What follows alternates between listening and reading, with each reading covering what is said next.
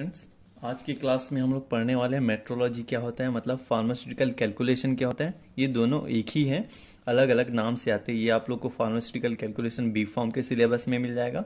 And जो metrology है, वो क्या हो जाएगा? अपने डी फॉर्म का जो सिलेबस रहता है, उसमें डी फॉर्म फ़र्स्ट ईयर का जो सिलेबस रहता है, उसमें आपको मिल जाएगा। अब मेट्रोलॉजी का मतलब क्या होता है? मेट्रोलॉजी को हम लोग क्यों पढ़ते हैं? मेट्रोलॉजी का पढ़ने का हम लोग को ज़रूरत इसलिए रहता है ताकि हम लोग किसी भी कैलकुलेशन को, किसी भी मेज़रमेंट को अच्छे से कर सकें। फार्मेसी के इंडस्ट्री में जैसे हम लोग फार्मुलेशन करते हैं, किसी भी ड्रग का तो पहले क्या किया जाता है, किसी भी चीज़ का मेज़रमेंट किया जाता है। तो इसी मेट्रोलॉजी एंड फार्मास्यूटिकल कैलकुलेशन के थ्रू ही उनका मेज़रमेंट किया जाता है। तो जैसे देखते हैं मेट्रोलॉजी क्या होता है। Metrology is the scientific study of measurement मतलब मेट्रोलॉजी क्या बोल रहा है कि ये एक साइंटिफिक स्टडी क्या रहता है मेज़रमेंट का रहता है। मतलब इसमें हम लोग क्या करते हैं, एक मेज़रमेंट का प्रोसेस देखते हैं कि किस तरीके से हम लोग इसमें मेज़रमेंट कर, किया जाता है।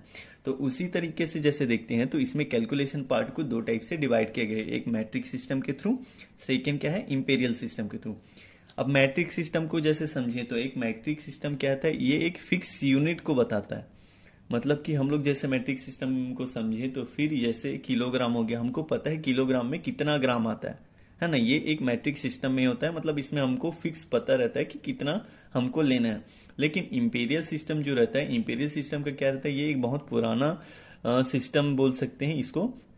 जो पुराने फिजिशियन थे, वो प्रिस्क्रिप्शन प्रोवाइड करते थे तो इसी सिस्टम से प्रोवाइड करते थे। क्योंकि उस टाइम जो है, ऐसे किलोग्राम ग्राम का यूज़ नहीं होता था तो उस टाइम जैसे पाउंड हो गया, है ना ग्रेन हो गया, इस टाइप का यूनिट उस टाइम यूज़ किया जाता था तो ये इंपीरियल सिस्टम में आ जाता है मतलब कि it is a old system of measurement बोल सकते हैं इसको।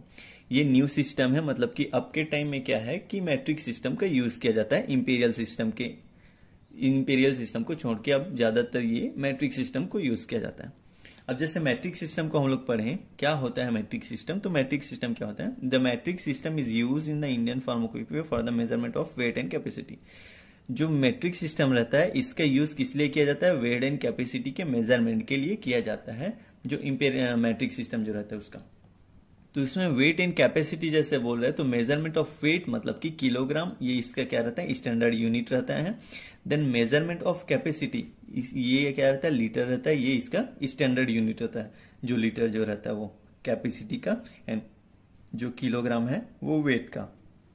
तो उसी को हम लोग जैसे आगे पढ़ते हैं तो उसी में जैसे देखें तो हम लोग जैसे कि हमको क्या करना रहता है वेट कैपेसिटी हो गया, जैसे उसका वॉल्यूम हो गया लेंथ हो गया, है ना? इस सब इस सब की, सबको क्या करना रहता है, हमको अच्छे से क्या करना रहता है, जानना रहता है, अच्छे से समझना रहता है, उसके वैल्यूज़ क्या होते हैं, ये सब चीज़ हमको पता रहना चाहिए। तो उसके लिए एक, क्या बोल सकते हैं, एक वैल्यूज़ जो आते हैं ना, इनके जो वैल्यूज़ आते हैं, एक इसको क्या बोल सकते हैं, एक फ्लो में हम लोग याद कर सकते हैं ना कि किस तरीके से इसके वैल्यूज़ होते हैं। जैसे कि किलोग्राम का कितना ग्राम होता है, हेक्टाग्राम का कितना ग्राम होता है है ना? डेका ग्राम का कितना ग्राम होता है, ये सब चीज़ हमको क्या रहना चाहिए? पता रहना चाहिए। ये सब चीज़ कितने, किसमें आ जाते हैं? मैट्रिक सिस्टम के मेज़रमेंट में आ जाते हैं। तो इसको याद करने के लिए हम लोग क्या करते हैं? ग्राम को हम लोग मेन पॉइंट लेके चलते हैं। देन ऊपर जैसे जाते हैं तो हमको इसको कैसे याद रखना है? Kilo, hecto deca gram deci centi milligram ये आपको एक फ्लो में याद रहना चाहिए, ताकि इससे क्या हो सके, आप लोग को आसानी हो सके इसके वैल्यूज़ को पता करने में। तो जैसे ही हम लोग जैसे ग्राम को जैसे मेन पॉइंट लेके चले तो ग्राम को क्या है जैसे कि ये हम वेट के हिसाब से इसको आ, क्या बोल सकते हैं पता करें कि वेट के हिसाब से जैसे इसका वैल्यू कैसे होता है। तो एक ग्राम बराबर एक ग्राम होता है। ऊपर जैसे जाएँगे तो इसका राइट साइड का जो वैल्यू है ज़ीरो है वो क्या हो जाएगा बढ़ते जाएगा। नीचे जाएँगे तो लेफ़्ट साइड ज़ीरो बढ़ते जाएगा। ठीक है पॉइंट के बाद एक ज़ीरो बढ़ते जाएगा लेफ़्ट साइड में। तो उसी तरीके से जैसे ग्राम के ऊपर तरफ़ जाए तो फिर क्या होता है, जैसे एक डेका ग्राम बराबर दस ग्राम एंड एक हेक्टाग्राम बराबर सौ ग्राम एंड एक किलोग्राम बराबर थाउज़ेंड ग्राम। इसी तरीके से जैसे नीचे आएँगे तो एक डेका ग्राम बराबर ज़ीरो पॉइंट वन ग्राम, इसी को हम लोग टेन के पावर माइनस वन बोलते हैं। एंड एक सेंटीग्राम इज़ इक्वल टू क्या हो जाएगा? Zero point zero one gram मतलब इसको टेन के पावर माइनस टू बोलते हैं। एक मिलीग्राम मतलब क्या होगा? Zero point zero zero one gram मतलब टेन के पावर माइनस थ्री। लेकिन माइक्रोग्राम में थोड़ा सा चेंज हो जाता है, इसमें टेन के पावर माइनस सिक्स आ जाता है। मतलब कि यहाँ पे जो वैल्यू है, वो सिक्स टाइम हो जाते हैं। मतलब कि फाइव ज़ीरो एंड वन, है ना? तो इसका क्या हो जाता है? टेन की पावर माइनस सिक्स हो जाता है। इसी तरीके से सब में जाते हैं। जैसे कि लेंथ हो गया लेंथ को हम लोग मीटर से डिनोट करते हैं। तो इसमें क्या हो जाता है कि सेम जैसे हम लोग इसमें गए, है ना वेट के लिए किए, वैसे ही लेंथ के लिए हो जाता है। और लेंथ के बाद जैसे वॉल्यूम का देखें तो वॉल्यूम का भी सेम हो जाता है। है ना, इसी तरीके से हमको क्या करना रहता है, सबको याद रखना पड़ता है। कि किस तरीके से हमको इसके यूनिट्स को याद रखना है, इसके वैल्यूज़ क्या क्या होते हैं, ये सब चीज़ याद करना है। हमको ज़्यादातर किस चीज़ का यूज़ किया जाता है, जैसे किलोग्राम से ग्राम में जाना रहता है ग्राम से हमको मिलीग्राम में जाना रहता है एंड मिलीग्राम से माइक्रोग्राम में जाना रहता है। ये ज़्यादातर हमारे फार्मेसी के फ़ील्ड में ज़्यादातर इतने का यूज़ किया जाता है। इसलिए हमको ये चीज़ ज़्यादातर हमको याद रहना चाहिए कि एक किलोग्राम में कितना ग्राम हो रहा है, एक ग्राम में, है ना ये सॉरी एक ग्राम में कितना मिलीग्राम हो रहा है एंड एक मिलीग्राम में कितना माइक्रोग्राम हो रहा है। ये हमको हमेशा पता रहना चाहिए। इससे ही आगे का कैलकुलेशन जो पार्ट रहता है, वो होता है। अब जैसे हम मैट्रिक सिस्टम में कोई सा एग्ज़ाम्पल लेके जैसे बात करें तो हम लोग को मैट्रिक सिस्टम में ज़्यादातर ये याद रखना है कि एक किलोग्राम में कितना ग्राम हो रहा है। एक किलोग्राम में थाउज़ेंड ग्राम होता है।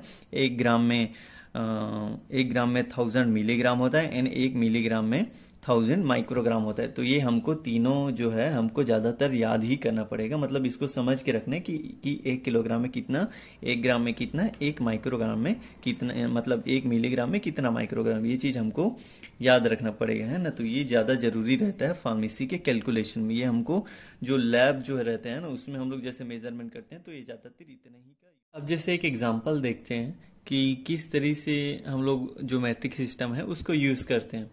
तो हमको जैसे नॉर्मल से एक एग्जांपल लेते हैं कि 15,000 माइक्रोग्राम में कितना ग्राम होता है ये हमको निकालना है कि कितने माइक्रो इतना माइक्रोग्राम दिया है तो उसमें कितना ग्राम उसमें लेना है हमको।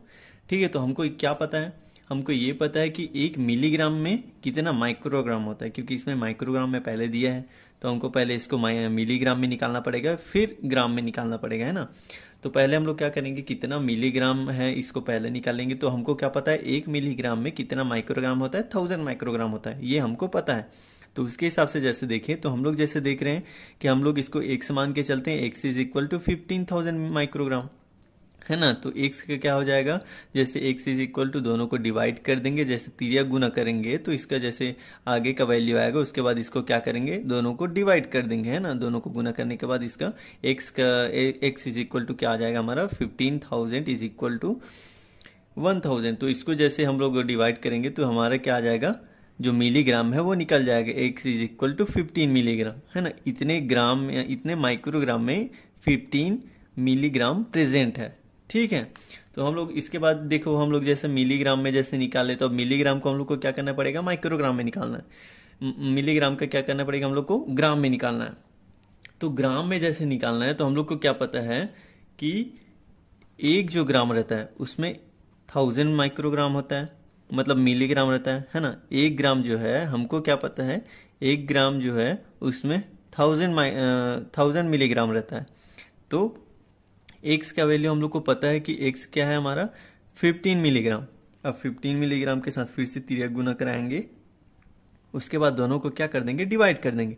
डिवाइड करेंगे तो हमारा जो है ग्राम में वैल्यू आ जाएगा कि 15,000 माइक्रोग्राम में हमारा कितना ग्राम उसमें है? हम लोग जैसे उसको ग्राम में देखेंगे तो कितना ग्राम रहेगा वो? 0.015 ग्राम ये इसका वैल्यू हो जाएगा। जैसे कि 15,000 माइक्रोग्राम में इतना ग्राम होता है। ठीक है, ये समझ में आ गया। इस तरीके से हम लोग क्या करते हैं, इसको कैलकुलेट करते हैं। इसी तरीके से यूज़ किया जाता है, जैसे हम लोग फार्मेसी के फ़ील्ड में जैसे कैलकुलेट करते हैं तो इसी तरीके से देखते हैं। ओके अब जैसे आगे देखते हैं तो आगे हमारे क्या आ जाता है? इंपेरियल सिस्टम आ जाता है ना। तो इंपीरियल सिस्टम का जैसे देखें तो इंपीरियल सिस्टम क्या होता है? पहले ये देख लेते हैं। तो इंपीरियल सिस्टम हम, मैं पहले भी बताया था कि it is a old system of weight and measure मतलब ये एक पुराना सिस्टम रहता है किस चीज़ के लिए? वे करने के लिए वेट एंड मेजर के लिए। ठीक है, ये एक पुराना सिस्टम रहता है। इसी को इंपेरियल सिस्टम बोलते हैं। तो इसको भी दो टाइप से डिवाइड किया गया इसके भी टू पार्ट्स हैं ना। फ़र्स्ट जैसे देखें एवर्डोपॉइस सिस्टम रहता है। सेकेंड रहता है एपोथिक्रेसिस सिस्टम रहता है। एवर्डोपाइस सिस्टम को पाउंड से पाउंड इसका स्टैंडर्ड यूनिट रहता है एंड एपोथिकरीज का जो स्टैंडर्ड यूनिट रहता है वो ग्रेन रहता है।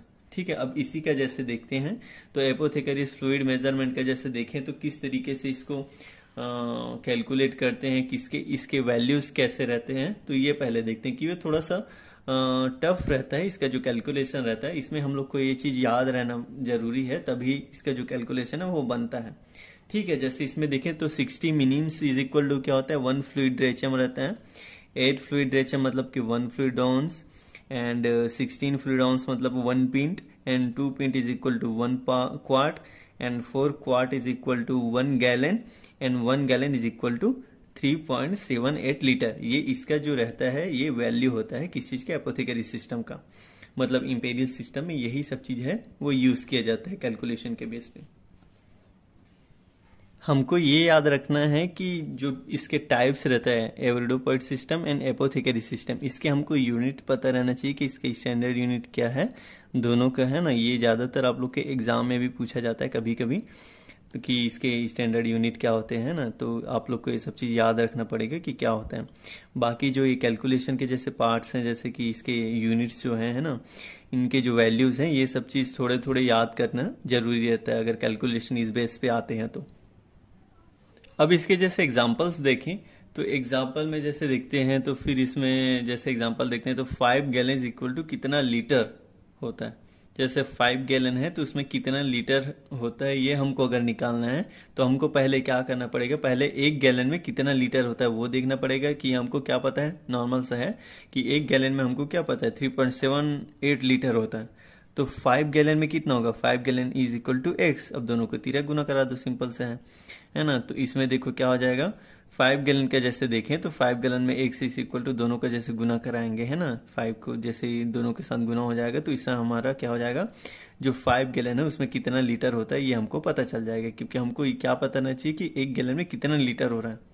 उसी तरीके से हमका, हमारा जो है, ये वैल्यू निकल जाएगी कि 18.90 लीटर होता है कितने में? फाइव गैलन में। हमको क्या पता था? एक गैलन में कितना लीटर है वो? एंड देन हम फाइव गैलन को क्या मान लिए? एक्स मान लिए, दोनों को तीरा गुना करा के उसका वैल्यू मिल गया हमको आंसर इसी तरीके से इसमें कैलकुलेशन किया जाता है, अगर समझना है तब, है ना? तो अगर इसमें सेकंड जैसे एग्जांपल देखते हैं कि किस तरीके से और भी पूछा जा सकते हैं, जैसे कि five quart is equal to कितना फ्लूड आउंस इसको एफ़ जेड से डिनोट करते हैं फ्लूडांस को। तो उसी में जैसे देखें कि फाइव क्वार्ट्स में कितना फ्लूडांस होता है। अब इसमें कैसे इसको कैलकुलेट करना है? तो इसमें जैसे देखते हैं हम लोग को क्या पता है कि फाइव वन क्वार्ट में कितना पिंट होता है। क्योंकि पहले हमको क्वार्ट निकालना पड़ेगा कि एक क्वार्ट में कितना होता है है ना? उसके बाद ही इसका फ्लूडांस निकलेंगे, निकालेंगे, ठीक है? तो उसमें जैसे देखते हैं कि वन क्वार्ट में टू पिंट होता है ना? तो वन पिंट में कितना फ्लूडांस होता है? हमको फ्लूडाउंस निकालना है। तो ये हमको पता है कि वन क्वार्ट में टू पिंट होता है वन पिंट में सिक्सटीन फ्लूडाउंस होते हैं।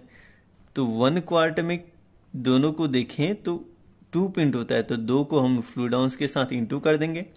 है ना? अगर हमको निकालना है कि वन क्वार्ट में कितना होता है तो दोनों को क्या करेंगे? इंटू कर देंगे। तो हम, हमारा क्या हो जाएगा? वन क्वार्ट में सिक्सटी टू फ्लूडाउंस होते हैं तो फिफ्टीन क्वार्ट में कितने फ्लूडाउंस होंगे? हमको पता है कि फाइव क्वार्ट में जैसे देखें तो थर्टी टू को क्या कर देंगे हम? फाइव के साथ इंटू कर देंगे। है ना? उसी को देख रहे हैं कि हम लोग जैसे देखें फाइव क्वार्ट हमारा कितना हो जाएगा? वन सिक्सटी फ्लूड आउंस हो जाएगी। ये हमारा क्या हो जाएगा? आंसर हो जाएगा।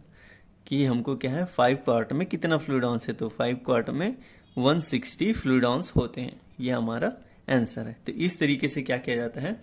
इसको एवरोडोपोस जैसे सिस्टम रहता है एपोथिकरी सिस्टम है, ये सब चीज़ इस तरीके से काम होता है, इस तरीके से इसका यूज़ किया जाता है। अब आगे जैसे हम लोग को पढ़ना है तो आगे जैसे पढ़ेंगे तो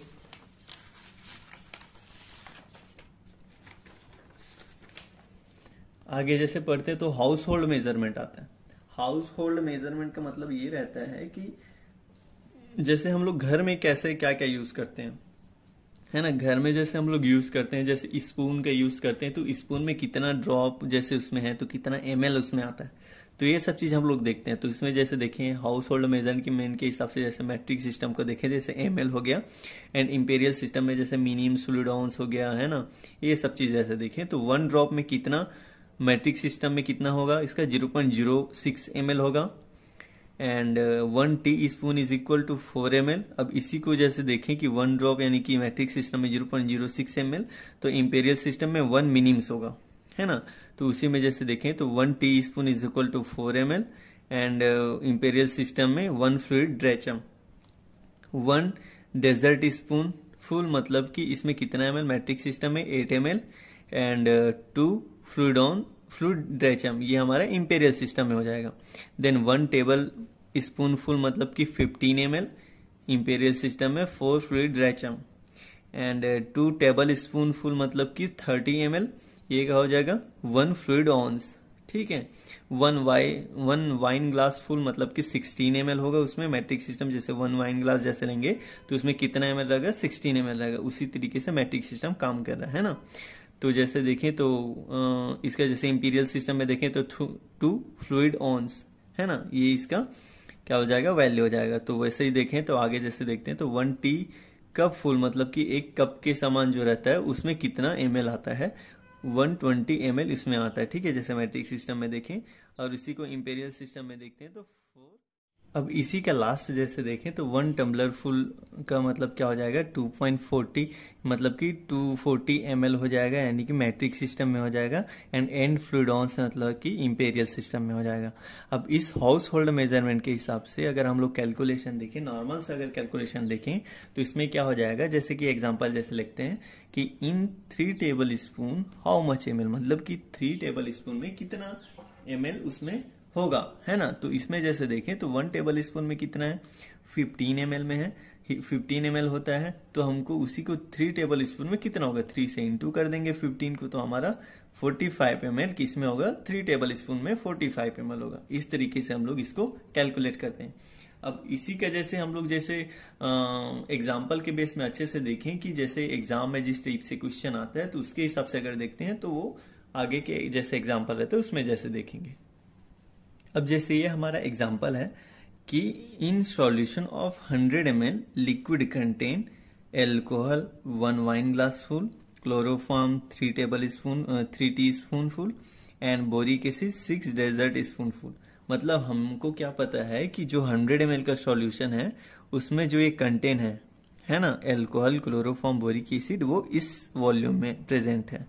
अब हमको क्या करना है make a solution for hundred litres मतलब टेन लीटर्स मतलब कि क्या करना है, हंड्रेड एम का सॉल्यूशन है, उसमें इतना इतना चीज़ प्रेजेंट है। अब इस के बेस पे हमको क्या करना पड़ेगा, टेन लीटर्स के लिए प्रिपेयर करना है सॉल्यूशन। तो हमको कैसे प्रिपेयर करेंगे, उसको कैसे निकालेंगे? तो उसी को जैसे देखें कि take take a alcohol in hundred M मतलब हंड्रेड एम के लिए हम हमने एल्कोहल लिया था वन वाइन ग्लास फूल तो हमको क्या पता है we know that one wine glassful is equal to sixteen M मतलब कि क्या है? 100 एम के लिए हमने क्या लिया था? 16 एम लिया था। तो उसी को जैसे देखें, देखो so sixteen M L is equal to hundred M मतलब कि हमने क्या किया? 16 एम डाला 100 एम के सॉल्यूशन में। तो अब इसको जैसे हम लोग को निकालना क्या है कि 100 लीटर्स के लिए निकालना है तो 100 लीटर्स के लिए इसको हम लोग x मान लेते हैं। x is equal to thousand M मतलब हमको क्या पता है? एक लीटर में थाउज़ेंड एम होता है तो टेन लीटर्स में कितना हो जाएगा? टेन थाउज़ेंड मतलब कि टेन थाउज़ेंड एम है ना? तो उसी को जैसे देखें तो देखो एक्स हमने माना टेन थाउज़ेंड एम तो उसी को देख रहे हैं कि एक्स इज़ इक्वल टू क्या हो जाएगा? Sixteen into ten thousand upon thousand मतलब कि हंड्रेड हंड्रेड हमारा क्या है? ये जो हम इसमें सॉल्यूशन जो ऐड किए थे हंड्रेड एम के लिए लिए थे तो उसी को जैसे किए कि हम लोग जैसे हंड्रेड एम का है तो हमको जैसे तिरिया गुना कराया तो तिरिया गुना से एक्स इज़ इक्वल टू हमारा ये वैल्यू निकल गया कि sixteen hundred sixteen into ten thousand and upon hundred तो इससे हम लोग जैसे कैलकुलेट करेंगे तो एक्स का वैल्यू हमको निकल जाएगा कि हंड्रेड जो टेन थाउज़ेंड है, इसके लिए हम लोग को कितना एमएल जो है, क्या लेना पड़ेगा? एल्कोहल लेना पड़ेगा। है ना? तो ये हमारा निकल गया। X is equal to six hundred six thousand M L alcohol in thousand M L of solution thousand M L solution prepare करने के लिए सिक्स थाउज़ेंड एम एल हमको लेना पड़ेगा एल्कोहल को। ठीक है, इस तरीके से हम लोग के कैलकुलेशन जो है, वो यूज़ किया जाता है। इस तरीके से हम लोग को, इसको कैलकुलेशन किया जाता है। तो इसमें जैसे देखें, आगे का जैसे प्रोसेस देखें तो टेक अ क्लोरोफॉर्म हम, हमारे क्या निकल गया? एल्कोहल का निकल गया। हमको क्लोरोफॉर्म का निकालना है और बोरिक एसिड के निकालना है कि कितना कितना एमएल लेना पड़ेगा? टेन लीटर्स के लिए मतलब कि टेन थाउज़ेंड के लिए। उसी को जैसे देखें क्लोरोफॉर्म के लिए। तो क्लोरोफॉर्म के लिए क्या हो जाएगा? Take a chloroform in hundred M in three tablespoon मतलब थ्री टी स्पून फुल मतलब इसी में जैसे देखें तो वी नो दैट हमको क्या पता है कि one table one teaspoonful is equal to four M तो फोर एम हमारा क्या है? हंड्रेड एम एल में है। अब उसी को टेन थाउज़ेंड एम के लिए जैसे निकालना है तो उसी को जैसे निकालेंगे तो इसको एक्स मान लेते हैं, दोनों को तिरिया गुना कराएँगे। तो इसका जैसे एक्स का वैल्यू तो क्या आ जाएगा? Four into ten thousand upon hundred तो इसको जैसे जैसे दोनों ज़ीरो को काट देंगे देन इसको फोर से इंटू करेंगे तो इससे क्या हो जाएगा? एक्स का वैल्यू हमको मिल जाएगा कि हमको थाउज़ेंड एम के लिए कितना क्लोरोफॉर्म हमको लेना है। मतलब कि फोर हंड्रेड एम क्लोरोफॉर्म हमको टेन थाउज़ेंड एम के लिए चाहिए रहेगा, है ना? हंड्रेड एम के हिसाब से। इस सॉल्यूशन के बेस पे हमको टेन टेन लीटर्स का बनाना है तो हमको four M L four hundred M L लेना पड़ेगा क्लोरोफॉर्म को थाउज़ेंड एम सोल्यूशन के लिए मतलब टेन लीटर सोल्यूशन के लिए। अब उसी को जैसे देखें बोरिक एसिड हम ले रहे हैं तो बोरिक एसिड जैसे हंड्रेड एम के लिए सिक्स टेबल स्पून फुल ले रहे हैं सिक्स डेजर्ट स्पून फुल ले रहे हैं तो उसी को जैसे देखते हैं, हमको क्या पता है? We know that one dessert spoon is equal to eight M हमको पता है एक डेजर्ट स्पून में एट एम होता है तो हमको एट एम में जैसे एट एम हमारे किसमें प्रेजेंट है? हंड्रेड एम सोल्यूशन में। हमको क्या निकालना है? टेन थाउज़ेंड एम के लिए कितना लेंगे उसको? है ना बोरिक एसिड को? तो एक्स मान लिया ten thousand M then x के जैसे तीर गुना कराया तो एक्स इज़ इक्वल टू क्या आ जाएगा? Eight into ten thousand upon hundred hundred M का। तो इसमें हमारा क्या निकल जाएगा कि कितना बोरिक एसिड लेना है? टेन थाउज़ेंड एम के लिए तो हमारा एक्स का वैल्यू क्या आ जाएगा? Eight hundred M in boric acid in thousand M of solution मतलब कि टेन थाउज़ेंड एम के लिए हमको एट हंड्रेड एम क्या करना पड़ेगा, लेना पड़ेगा। इस तरीके से हम लोग क्या कर सकते हैं? इसका वॉल्यूम जो है वो निकाल सकते हैं।